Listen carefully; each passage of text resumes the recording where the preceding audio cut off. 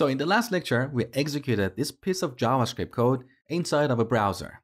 In this lecture, I'm going to show you how to run the same code in Node. So I'm assuming that you have installed Node on your machine. If not, head over to nodejs.org and download the latest version of Node. Now, if you're on Windows, open up Command Prompt. If you're on Mac, open up Terminal and head over to the folder you created earlier. Now in this folder, we run node and pass the name of our JavaScript file, that is index.js. We get the same message on the console. So you can see Node is a program that includes Google's V8 JavaScript engine. We can give it a piece of JavaScript code and it will execute that code for us, just like how we can execute some JavaScript code in a browser. So Node is a runtime environment for executing JavaScript code. Now let me show you a tip. Here in VS Code, we have an integrated terminal. So you don't have to explicitly open up a separate terminal window. So here on the top, under the view menu, look, we have integrated terminal. Note the shortcut here. That's the shortcut for Mac. On Windows, you're going to have a different shortcut. So select this, and here's our integrated terminal pointing to the same folder where we created our files. So you don't have to explicitly navigate to this folder. And here we can run node index.js as well.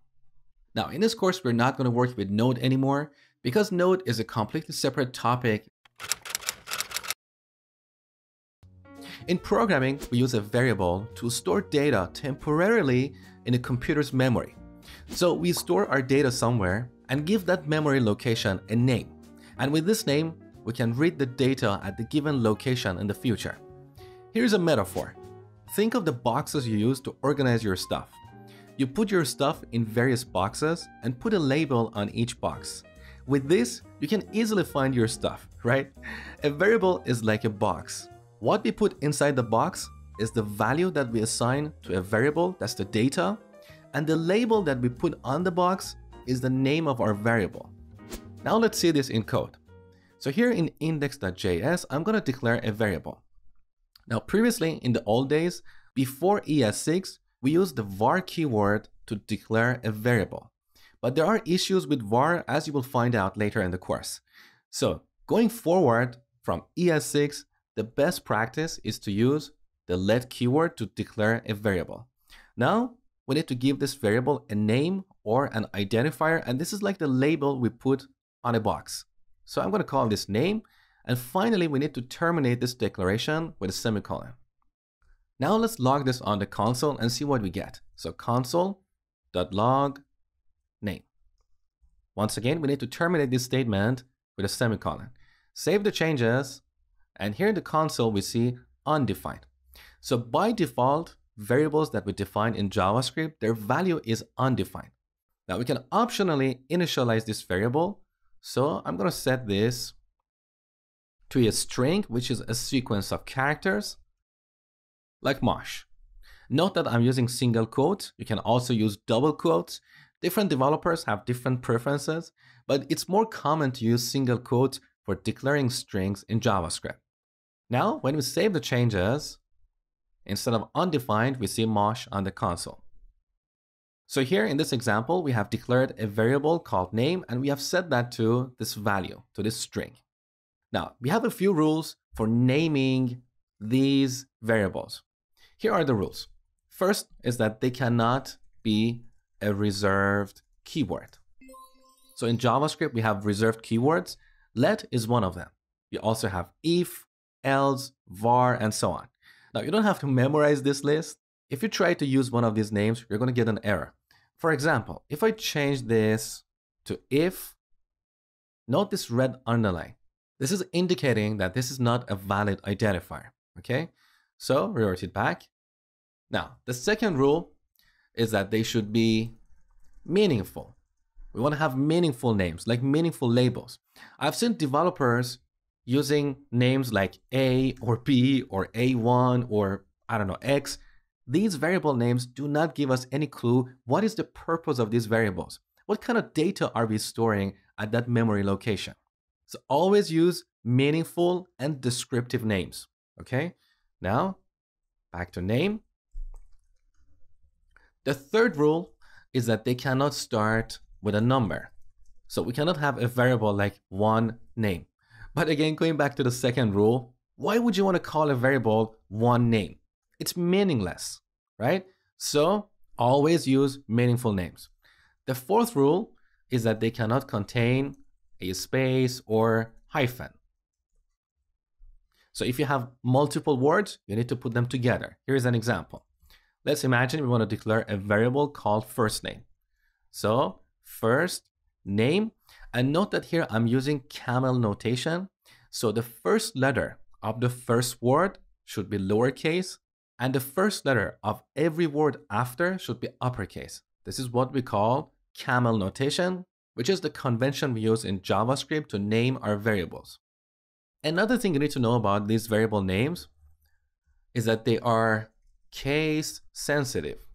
So if I declare another variable, call it first name, but make the f uppercase, these two variables are different. But as I told you before, if you stick to camel notation, you wouldn't end up with a variable name like this.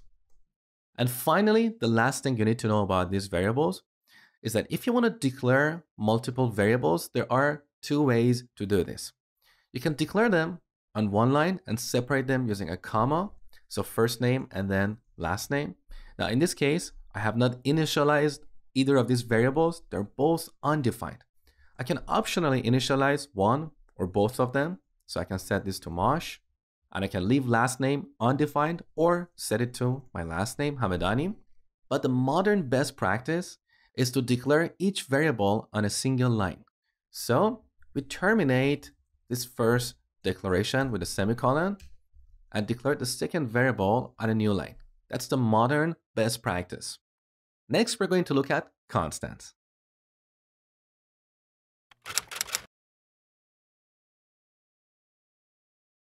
All right, now let's declare a variable called interest rate. So let interest rate, and we set this to 0.3.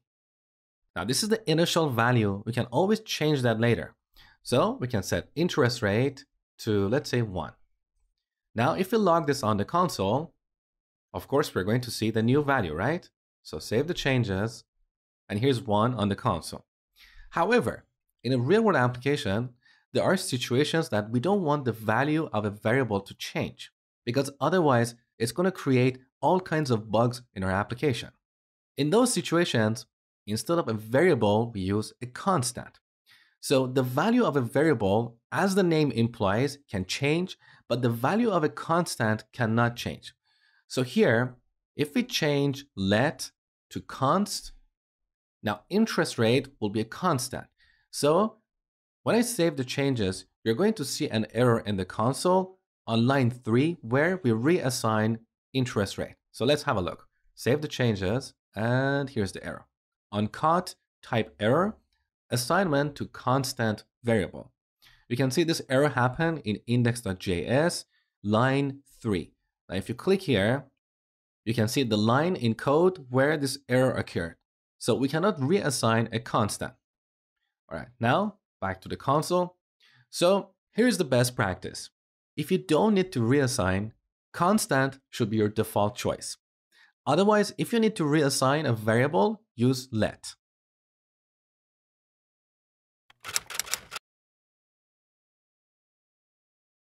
So you have learned how to declare and initialize a variable. Now you might be wondering, what are the kind of values that we can assign to a variable? Well, you have seen strings, but we have more types. Basically, in JavaScript, we have two categories of types. On one side, we have primitives, also called value types.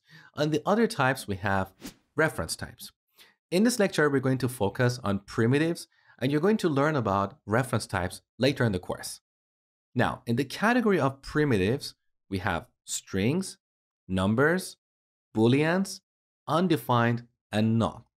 Let's look at each of these in action. So here we have a variable called name, which is set to a string. What we have here is what we call a string literal. That's just a fancy name for a string. Now let's declare a variable and set it to a number. So let age, we set that to 30. And by the way, I'm not 30 years old, but don't tell anyone, okay? So this is what we call a number literal. Now let's declare a boolean. A boolean can be either true or false. So let is approved to be true. This is what we call a boolean literal. And we use this in situations where we want to have some logic. For example, if the order is approved, then it needs to be shipped. So the value of a Boolean variable can be true or false. And by the way, note that both true and false are reserved keywords, so they cannot be variable names. Okay? Now you have seen undefined before, so I can declare another variable, first name.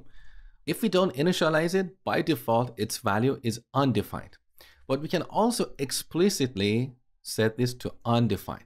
But that's not very common. In contrast, we have another keyword that is null. So let me declare another variable and set this to null. We use null in situations where we want to explicitly clear the value of a variable. For example, we may want to present the user with a list of colors. If the user has no selection, we want to set the selected color variable to null. In the future, if the user selects a color, then we're going to reassign this variable to a color like red. And then if they click red again, perhaps we want to remove the selection, so we set this back to null. So we use null in situations where we want to clear the value of a variable. So these are the examples of primitives or value types. We have strings, numbers, booleans, undefined, and null. Now in ES6, we have another primitive that is symbol, and you're going to learn about that later in the course. One thing that separates JavaScript from a lot of programming languages is that JavaScript is a dynamic language. What do I mean by dynamic? Well, we have two types of programming languages, static languages or dynamic languages. In static languages, when we declare a variable, the type of that variable is set and it cannot be changed in the future. In a dynamic language, like JavaScript, the type of a variable can change at runtime. Let's see this in code. So back in the example from the last lecture, we have declared this name variable and we have set that to a string. So the type of name is currently a string, but it can change in the future. Let's take a look. So here in the console, we can execute some JavaScript code. We have this type of operator, and with that, we can check the type of a variable. So after that, we add the name of the variable, in this case, our name variable. So note that the type of name is a string. Now, if we reassign name to a different value, like a number, and check its type, look, the type is now changed to a number. This is what we call a dynamic language. So unlike static languages, the type of these variables will be determined at runtime based on the values that we assign to them. Now let's take a look at a few more examples of the type of operator. And by the way, note that type of is another reserved keyword, so you cannot have a variable called type of. So we can clear the console by pressing Control and L. So now let's take a look at type of age. It's a number. Now if we change age to a floating point number, and I know it doesn't make sense, but let's just stick to this for this example, 30.1. And then look at type of age, it's still a number. So in JavaScript, unlike other programming languages, we don't have two kinds of numbers. We don't have floating point numbers and integers. All numbers are of type number. Now let's look at the type of is approved. It's a boolean as I told you before. What about the first name? Let's have a look. Type of first name. It's undefined. And that's funny because the value of this variable is undefined but its type is also undefined. What does this mean? Well, earlier I told you that we have two categories of types. We have primitives or value types and reference types. In the primitive types category, we have strings, numbers, booleans, undefined, and null. So undefined is actually a type, but is also a value. In this example, because we have set first name to undefined as a value, its type is also undefined. Okay. Now, what about selected color? Let's have a look. So type of selected color. The type of this variable is an object. What is an object? That's the topic for the next lecture. So you have seen all the primitive types in JavaScript. Now let's take a look at the reference types. In the reference types category, we have objects, arrays, and functions. In this lecture, we're going to explore objects, and you will learn about arrays and functions later in the section. So, what is an object? An object in JavaScript and other programming languages is like an object in real life. Think of a person. A person has name, age, address, and so on. These are the properties of a person. We have the same concept in JavaScript. So when we're dealing with multiple related variables, we can put these variables inside of an object. For example, here we have two variables, name and age. They're highly related. They are part of the representation of a person. So instead of declaring two variables, we can declare a person object. And then instead of referencing these two different variables, we can just reference the person object.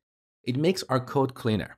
So let's see how we can declare a person object. We start with let or const if we don't want to reassign the person object and set it to an object literal. So this syntax we have here, these curly braces is what we call an object literal. Now, between these curly braces, we add one or more key value pairs. So the keys are what we call the properties of this object. In this case, we want this person object to have two properties or two keys, name and age. So we add name here, that's the key. Then we add a colon and after that we set the value. So mosh. Now we add a comma and add another key value pair, age 30. So now we have a person object with two properties or two key value pairs name and age. And with that, we don't need these two variables. Now let's log person on the console. So console.log person. Save the changes.